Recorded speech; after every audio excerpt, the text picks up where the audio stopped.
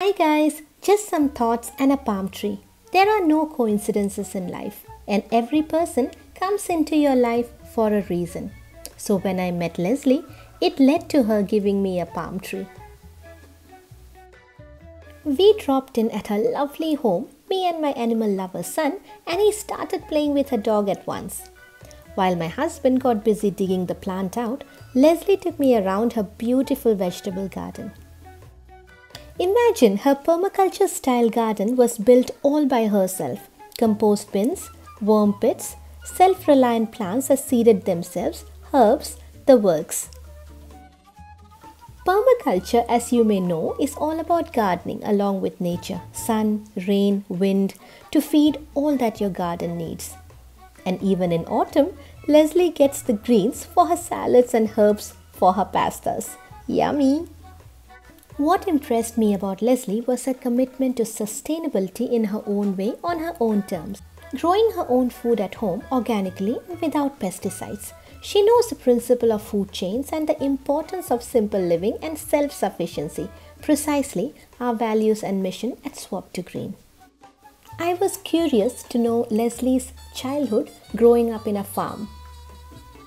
Dad was a very keen vegetable gardener, so I grew up with him growing our own vegetables. And um, he was very good at it.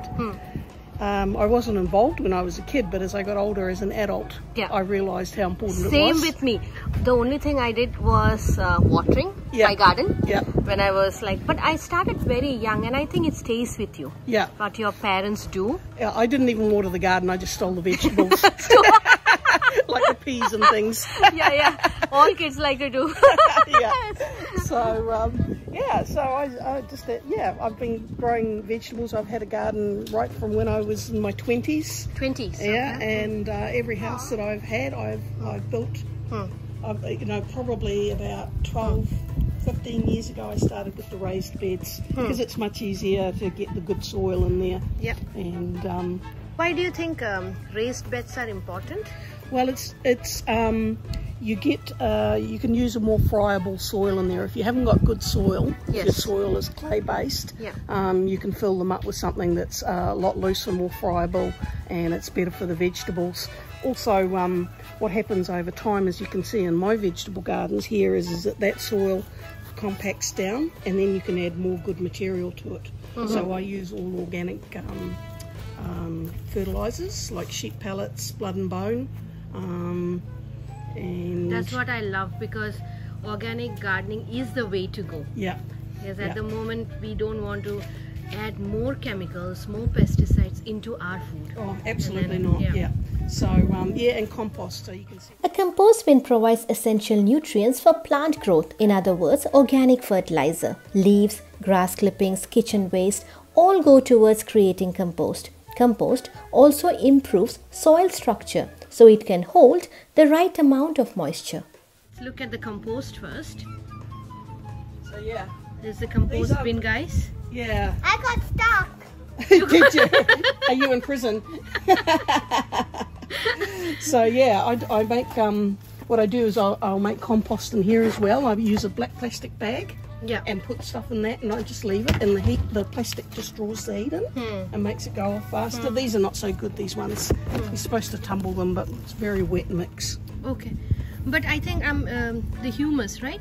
Yeah. Yeah. Yeah, it's there. So basically with this sort of stuff I put it down in the garden bed and then I might put a, a bag of compost or something over the top. Yeah. And this is just enriches the soil. Richest soil, yeah. I know, I know. I mean, I agree. I have a compost at home, compost bin at home, uh, where I put everything Yeah. from the kitchen, yeah. all these things. And this is the rhubarb, isn't it? Yeah. Yeah. For those who don't know rhubarb, it's a fleshy edible stalk which are cooked and used for food. However, be careful as the leaves can be poisonous. Crops are mainly brassicas. Brassicas, So, yes. Yeah, cabbage, kale. Um, that's kind of like a broccolini over there. So every. Tiny year, one. Every year I try to grow two new vegetables. Two new vegetables. That's your Yeah. goal every year. Yeah. Okay, cool. Or every season actually. Every season, yeah. Yeah. so just to try something different and yeah. and I go, oh, I like that vegetable, or I don't like that vegetable, and I won't grow it again. And unless we try these vegetables, we won't know That's exactly whether right. You know we shouldn't I, I mean in my channel i always encourage kids to eat everything Yeah. unless you try you're not gonna know That's right. Yep. whether it's good for so this is the spinach Yep. and lettuce different types of lettuce Yeah. Yeah, time at this time of the year for lettuce is not so great. not so great yeah Um, and here is rosie hello rosie and here is teddy and they like to eat the blood and bone. blood So here's the worm farm. Worm composting. It always fascinated me and wanted one in my garden, so I bombarded Lesley with tons of questions. That's when I realized that she's also a very patient person. Okay, so what we see here is the worm farm So that produces worm juice, which is very good for the um, for the garden, for Okay. the plants. okay So I use worm juice, and I also use this um, seaweed solution. seaweed solution yes Yeah. sea salt i use Yeah. the same thing at home Yeah, the plants love it. A worm composter is just a bin with holes for ventilation and moisture. The bin is raised off the ground to allow water to drain out. okay how do we make this The the worm farm. yeah yeah how do we make this Um, you can make your own out of any kind of container. Like you Okay. could get one of those big plastic bins, yeah and you could drill a hole in it. You can buy these taps. yes Put that in there, and you could basically you could have them stacked up. So the idea is that this is the um, reservoir for the for the worm juice, yeah which This this, is, this is fairly new. So there's probably not much in there. okay okay No, there's nothing. oh, okay i So can not- see a few yeah, Yeah, yeah, but it will fill up with, with um, liquid. Okay, Mhm. and um, so you put the liquid. So you can see I've drawn some off into containers there, okay and um, yeah. so this is something i haven't started at home Yeah, so you, you can buy this this sort of thing. They're about 100 120 dollars from Bunnings or Okay. Mitre 10. okay And basically, what you do is in the bottom you get some of that um, that coconut coir. You know that you Okay. get the um, and it, you hydrate it with water so it's all nice and moist. And you put that in the bottom, and then you um, you normally you buy your worms, or if you know somebody who's got a worm farm, they can give you some, and then they go on top of that, and then you feed them. So you don't feed them too much. Um, but yeah, this um, is kind of kitchen scrapes would be fine okay. yeah. They don't like tomato, onion, or citrus.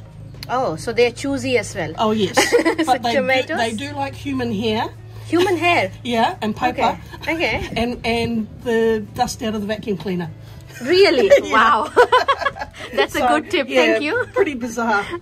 And um, yeah, so it's I'm pretty pleased with myself. That one over there. and did, empty. did you do that on your own? Yes, wow. Kudos pretty, pretty kudos. easy. kudos. Could you tell us a little more about your raised bed please yeah, looks so you quite good yeah Yeah, you need probably about 30 centimetres depth because if you're going to grow things like carrots or parsnips or any of those root vegetables, they need the, the room to grow and they need um, the friable soil to grow in. If the soil's too hard, they um, they won't grow. They'll go they'll go grow stumpy.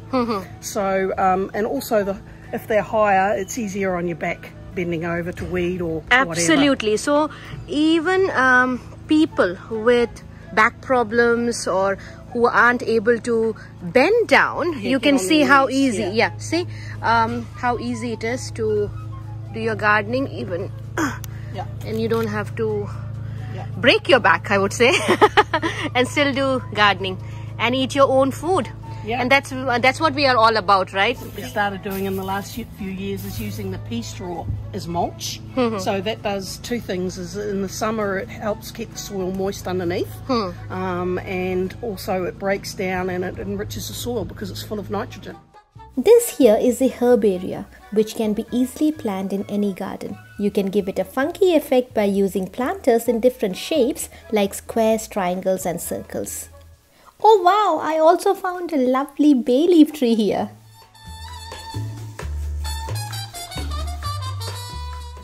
Lesley had another surprise up her sleeve. At the far end of the garden, a coop.